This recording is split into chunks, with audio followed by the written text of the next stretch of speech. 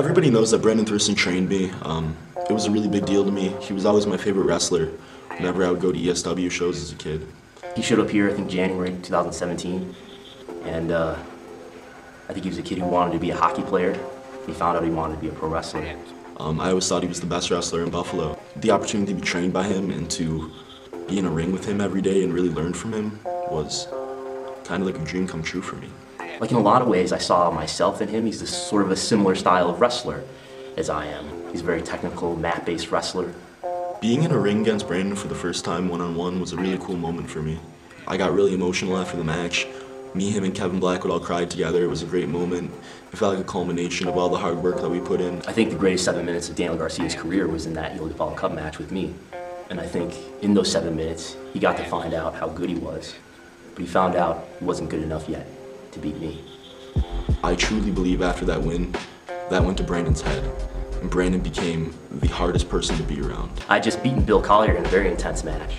He was saying some nice things about Bill Collier, and he had to show up and throw his crutches down because that would get a big reaction from everybody. That, that would get a big oh, big pop, big oh from everybody. When he's in front of the computer, he wants to act all tough. I don't play that. And he gets in my face and he slaps me and he wants me to slap him back. Like I'm gonna beat up somebody who's fresh out of the hospital, who's still in rehab for two broken legs. He says a lot of stuff on social media, and he'll say a lot of stuff when I'm not there. But when I walk into a room, mm-hmm. Brandon Thurston melts.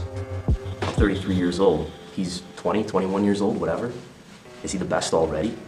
And even if he is, he's the best because I made him the best. You could see the look on his face when he was visiting me in my hospital bed. I could tell he wasn't really that sorry. And I think that goes to show you with all these opportunities he's been getting lately, I think he's a little disappointed that I'm coming back. The only reason he's getting these opportunities is because I'm hurt.